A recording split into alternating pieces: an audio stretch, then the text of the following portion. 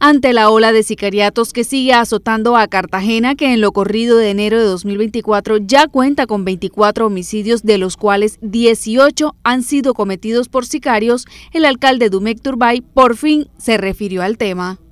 En su red social X, el mandatario le ordenó a la policía un grupo de fuerzas especiales para combatir la criminalidad que no solo se traduce en las muertes, sino también en la contaminación en las calles con la venta de estupefacientes que perjudican la seguridad de la ciudadanía y la salud pública en general. En el mensaje posteado este martes, Turbay manifestó que, como primera autoridad de la ciudad, tengo toda la voluntad y el carácter para asumir este asunto con determinación y espero que el Ministerio de Defensa respalde las acciones que vamos a cometer para garantizar la seguridad e integridad de todos los ciudadanos. Aplica para el resto del país que padece la misma situación. La publicación del alcalde tuvo varias respuestas por parte de los internautas en las que apoyaron su petición y además le hicieron algunas sugerencias.